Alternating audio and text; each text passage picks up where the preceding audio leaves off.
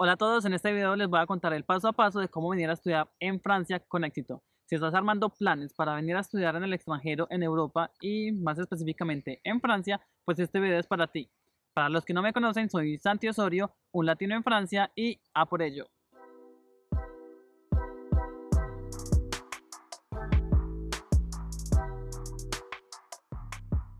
Este video lo voy a dividir en tres partes, el antes del proceso, durante el proceso y después del proceso, o sea, cuando ya estés aquí en Francia.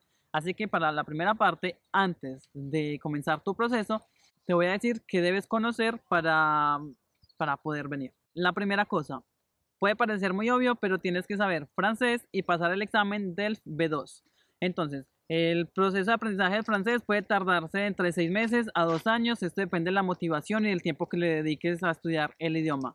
Em, sin embargo, tienes que saber que no es necesario hablar francés 100% cuando vayas a venir a estudiar. Mm. Segundo, el examen DELF B2. El DELF B2 es el diploma en langue, diploma d'études en langue francesa, o sea, el diploma de estudios en lengua francesa, y es el examen que certifica tu conocimiento en el idioma francés. Eh, necesitas un nivel B2, pero algunas universidades aceptan el nivel B1. Y es muy importante que tengas los resultados antes de postular y antes de comenzar tu proceso. Así que tienes que planear muy bien y tienes que mirar las fechas en las que vas a presentar el examen porque hay solamente tres sesiones por año. Este examen se presenta en la Alianza Francesa de tu ciudad. Así que te recomiendo que vayas en internet y busques la Alianza Francesa de Ciudad de México, la ciudad, Alianza Francesa de Bogotá, Alianza Francesa de Medellín, Alianza Francesa de Lima. Eso depende de dónde estés. Enseguida vas a tener que pagar un monto por este examen. En Colombia este año el costo es de 85 dólares aproximadamente. Y los resultados se los entregan 15 días a un mes después de que lo hayas presentado es muy importante que planees con anticipación porque los resultados los van a necesitar cuando postules a las universidades. Así que eh, empieza con tiempo a mirar las fechas y cuándo podrías pasar tu examen del B2. La segunda cosa que debes conocer antes de comenzar tu proceso es el sistema educativo francés. Aquí la educación superior comienza cuando terminas tu último año de secundaria. En Francia se llama baccalaureat y se abrevia BAC. Por cada año de estudio que hagas después de tu BAC, entonces le vas a sumar esa cifra a, tu BAC. Entonces eso va a ir desde BAC más 1 hasta BAC más 8 para los doctorados y BAC más 9 para los médicos. Eh, aquí se maneja el sistema LMD, que significa licencia, máster y doctorado. Las licencias son como los pregrados en Latinoamérica, el máster es una maestría y el doctorado es un doctorado como en Latinoamérica también con una duración de 3 años. La licencia es un BAC más 3 este, como les decía, es un pregrado o una licencia para algunos países de Latinoamérica. Luego está el BAC plus 5, BAC más 5, que es la maestría y es cuando hiciste 5 años de estudio luego de tu BAC, de tu bachillerato o de tu último año de secundaria. Y finalmente pues está el doctorado, BAC más 8, son 3 años más de estudio y esto quiere decir que hiciste 8 años de estudio en total después de tu bachillerato. Entonces, como les venía diciendo, la educación en Francia es por años. Así que aquí no es por semestres en la educación superior, siempre va a ser por años y cada, y cada que pagas, pagas por el año completo, no pagas por semestre. A partir de 2018 hay unos costos establecidos por el gobierno, sin embargo estos costos pueden variar depende, dependiendo de la universidad a la que vaya. Ellos te pueden cobrar menos o te pueden cobrar la tarifa mm, reglamentaria que hay en la ley. La tercera cosa que debes conocer antes de comenzar tu proceso es Campus France. Campus France es la agencia gubernamental que se encarga de la movilidad y, de los estudiantes extranjeros que vienen a Francia. Es muy importante que conozcas esta página porque es la única agencia que se encarga de los estudiantes extranjeros. No tienes necesidad de pagar ninguna agencia privada o nada por el estilo, porque por Campus France el proceso es, eh, la información es gratuita y luego cuando comiences tu programa de, cuando comiences tu proceso de, de migración, pues entonces ahí sí vas a tener que pagar un monto, pero esto se los explicaré más tarde. Eh, los invito a que vayan y miren la página, se las dejo en la descripción, porque aquí van a encontrar los programas de estudio, las instituciones y sobre todo las becas que ustedes a las que pueden optar para su programa o para su formación. La cuarta cosa que debes saber antes de venir en Francia es qué quieres estudiar y dónde lo vas a estudiar. Entonces, eh, tienes que saber que aquí en Francia puedes ingresar a la educación superior en segundo, tercer tercer año eh, en maestría o a doctorado directamente. Eres tú quien elige dependiendo de tu proceso. Ahora luego tienes que saber qué vas a estudiar y dónde lo vas a estudiar. Entonces te dejo en, la descripción el link del buscador de formaciones de Campus France para que busques los pregrados o las maestrías que te interesen. Y entonces, una vez empieces a buscarlos, pues eh, si vienes para pregrado, puedes eh, empezar a seleccionar 10 de las opciones que te interesen más. Eh, y para maestría te invito a que busques 5 de las maestrías que te interesen más porque luego vas a tener que inscribirte en la página y tienes que tener varias opciones. Así que tienes que saber muy bien a qué universidad, universidades y a qué programas vas a postular. Durante el proceso, ahora comenzamos oficialmente tu proceso de venir a estudiar a Francia. Es muy importante que, es muy importante que sigan los siguientes pasos para que em, puedas venir a estudiar aquí con éxito. La primera cosa que debes saber durante el proceso y es la primordial es inscribirte en Campus France. Entonces, como te dije, vas a tener que crear un usuario y una contraseña en Campus France y tienes que estar pendiente de las fechas de inscripción eh, para los programas de pregrado o maestría o doctorado. Normalmente es en noviembre del año anterior a tu viaje. Así que, por ejemplo, si quieres venir para 2022, tendrás que inscribirte en noviembre de 2021. Una vez finalices tu proceso de inscripción en Campus France, tendrás que pagar los derechos de inscripción que normalmente son 90 euros y para el año 2021-2022 son 410 mil pesos colombianos. El segundo paso durante este proceso es, la, postular a las universidades. Como bien te dije anteriormente, para pregrado tienes que tendrás la oportunidad de postular a siete universidades o programas diferentes. Si es para maestría, tendrás la oportunidad de postular a tres programas diferentes o tres universidades diferentes. Te dije que escogieras 10 programas de pregrado porque puede que en el año en que tú te inscribas la universidad no ofrezca este programa o que algunas universidades cierren algunas formaciones. Así que no todas van a estar disponibles y lo más y lo mejor es que postules a las 7 universidades que te permite Campus France para tener más posibilidades de ser aceptado. Es lo mismo para la maestría y también es la misma historia para los doctorados. Así que tendrás que tener varias opciones sobre, eh, sobre la mesa para poder que tengas más opciones y más probabilidades de ser aceptado en una formación aquí en Francia. Luego de haber postulado, pues van a llegar las respuestas de las universidades. Tienes que tener en cuenta el calendario de Campus France para saber cuándo debes dar respuesta a las universidades y también tienes que tener en cuenta eh, los calendarios de las universidades a las que postulaste y a, y a las que te aceptaron. Ellos te van a pedir que aceptes o que les des una respuesta. Eh, ahora te toca a ti escoger cuál universidad te gusta, eh, si depende de la formación que te ofrecieron o de la ciudad a la que quieras ir. Una vez escojas la escuela y la formación a la que quieres venir a hacer aquí en Francia, pues entonces tendrás que preparar una entrevista con Campus France para prepararte para la visa. Tercer paso durante tu proceso, pedir la visa. Llegados hasta aquí vas a tener la carta de aceptación de la universidad, tendrás que haber pasado la entrevista de Campus France y te tocará pedir una cita por internet a la embajada para pedir la visa. La visa tiene un costo de 50 euros, tendrás que llevarlos en efectivo y en la moneda de tu país, sean pesos colombianos, pesos mexicanos, etc. Una vez en la embajada tendrás una entrevista con un cónsul que puede ser en francés o en español en esta entrevista te van a preguntar qué vas a estudiar, a dónde vas, tendrás que presentar tus documentos. Es muy importante que seas muy honesto y que no te estreses por esto. Em, ten en cuenta que la tasa de aceptación de las visas para estudiantes es del 93%. Así que si tienes tus papeles al día, no hay que temer, no hay nada que temer.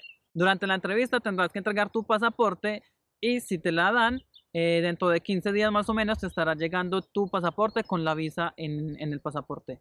Eh, ten en cuenta también las fechas cuando de tu entrevista, porque si es a mitad de año, entre julio y agosto, pues son periodos de vacaciones y puede que se demore un poco más. Cuarto paso, entonces, los costos de las universidades aquí en Francia. Para pregrado, la ley estipula que mm, para los estudiantes extranjeros el costo es de 2.770 euros por año. Para máster, el precio es de 3.770 euros por año a esto tendrás que adjuntar 90 euros que se le pagan al ministerio, pero una vez estando aquí en Francia. Em, depende de las universidades, hay algunas que no cobran estas tarifas legales y puede que te cobren menos. Eh, en la mayoría de universidades públicas te van a cobrar menos, así que tienes que averiguar bien en tu universidad que te, en la universidad que te aceptaron o antes de que te acepten deberás preguntar cuál es el costo de la matrícula. Quinto paso es comprar los tiquetes y prepararte para tu viaje. Pues si llegaste hasta aquí, felicitaciones porque pronto estarás en Francia. Te recomiendo que para comprar los tiquetes lo hagas con dos a tres meses de anticipación y esto para que te salga mucho más barato. Si lo dejas para la última hora vas a pagar un precio más caro en los tiquetes de avión. Ten en cuenta que el año escolar empieza en septiembre y que tu visa te lo van a aprobar para que entres 15 días antes en el territorio francés. Eh, enseguida es muy probable que llegues al aeropuerto Charles de Gaulle.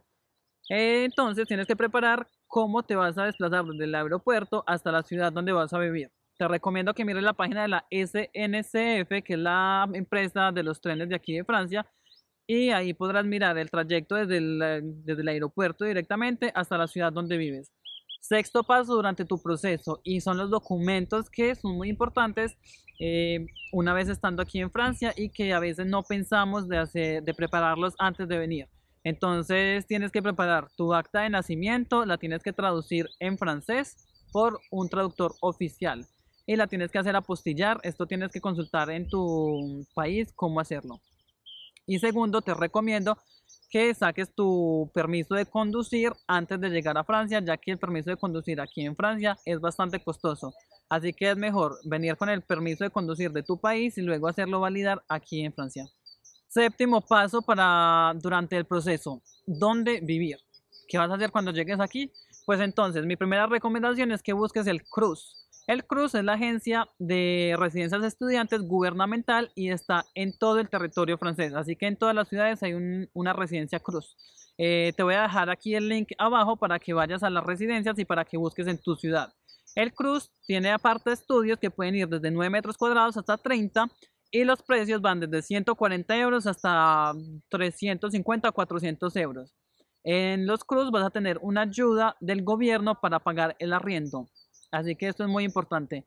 Eh, te recomiendo el Cruz porque es donde yo llegué la primera vez aquí en Francia y porque ellos para los extranjeros tienen privilegio o pasamos primero porque saben que no tenemos dónde llegar. Así que el Cruz es una muy buena opción para tu primera vivienda aquí en Francia.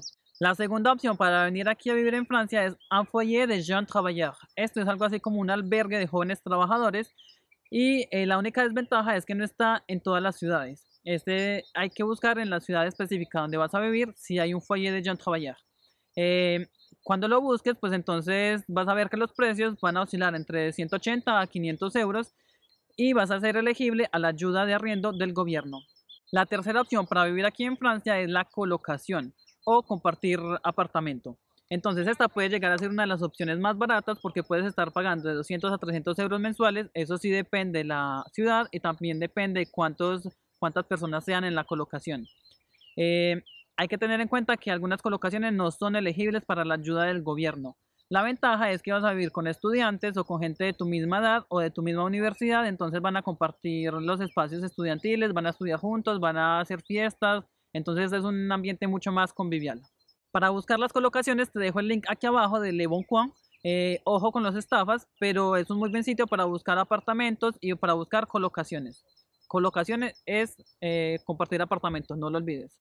Y la última opción para vivir es entonces arrendar un aparta estudio para ti solo y con un particular, o sea, con un propietario particular. Esta es la opción que yo considero que es un poco más difícil cuando llegamos aquí a Francia porque nos van a pedir varios documentos que como extranjeros no tenemos, como por ejemplo eh, un garante o un codeudor. Eh, también te van a pedir la declaración de impuestos tuya o de tus padres eh, pero eso es un documento que nosotros como, como extranjeros no tenemos. Entonces, mm, también está la opción, eh, no es imposible, puedes buscar, también te dejo en Le Bon también puedes buscar entonces eh, apartamentos para ti solo. Estos apartamentos pueden ir de 9 metros a 30 metros cuadrados porque son apartamentos estudiantiles y los precios pueden ir desde 300 euros hasta 600 euros. Aquí hay una gama un poco más variada y ya depende de tus gustos. Ahora llegamos al después. Eh, viajaste, llegaste a Francia, todo está muy bien, tuviste tu experiencia, estás muy contento, recibiste tu apartamento. Ahora te voy a decir los cinco trámites que debes hacer inmediatamente llegues. Son súper importantes.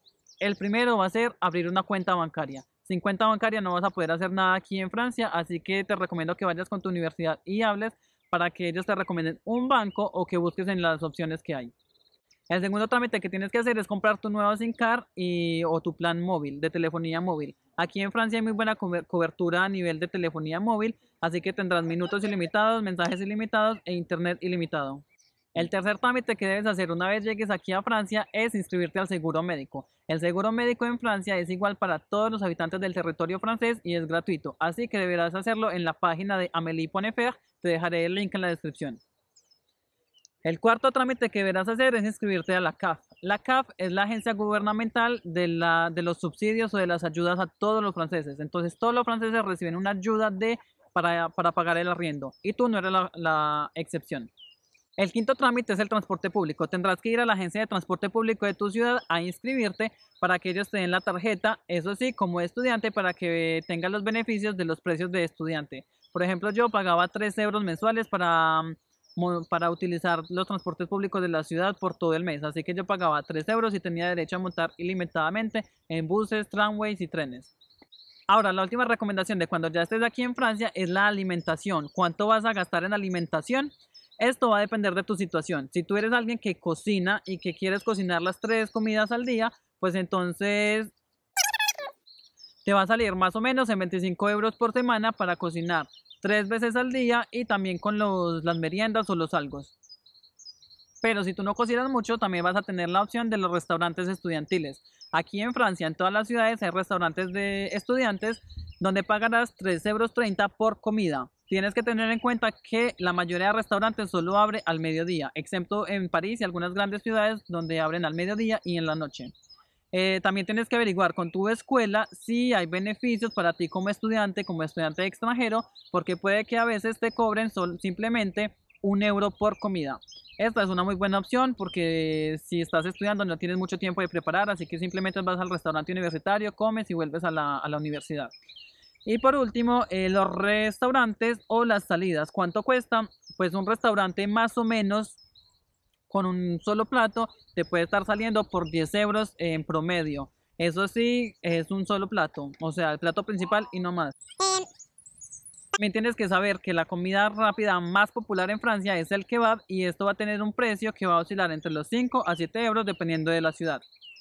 Bueno amigos, eso es todo por hoy. Estas son mis recomendaciones y mi paso a paso para que se vengan aquí a estudiar en Francia. Les deseo demasiados éxitos en su proceso y que puedan venir aquí pronto y quién sabe, de pronto algún día vernos aquí al lado de este castillo.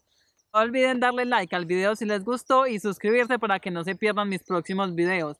Si quieres que te resuelva dudas o tienes más preguntas, pues entonces déjamelas en los comentarios, yo te estaré respondiendo. Hasta la próxima, aviento.